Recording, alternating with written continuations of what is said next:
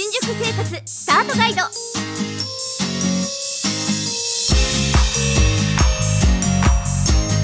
ャプター8新宿で事業を始める人のための事業系の資源ゴミの出し方。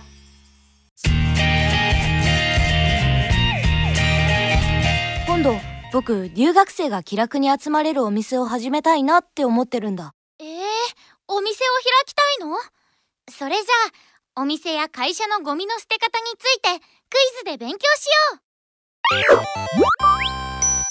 さあ始まりました。ゴミ飲み恋の時間です。それでは早速参りましょう。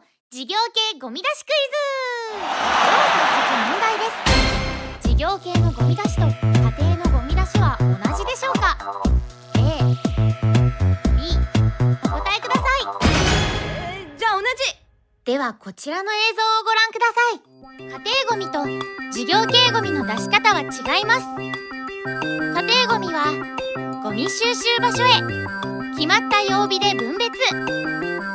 事業系ゴミは許可されたゴミ処理業者に回収を依頼。できない場合は区役所に依頼。はい不正解です。ああ知ってたけどね。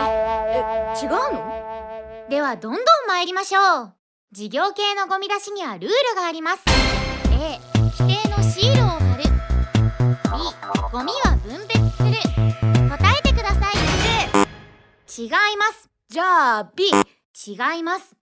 タイムアップ。それでは正解はこちら。A 新宿区の有料ゴミシールを貼ると区が収集してくれます。B 事業系ゴミも種類ごとに分けて出します。正解は全部です。なんだよそれ。インチキだ。事業系のゴミ出しにはもう一つルールがあります。次のうちどれでしょう？A ゴミを出すためのシールにはお店の名前等を書く欄があるが書かなくてもよい。B ゴミは収集日の朝8時までに出さなければならない。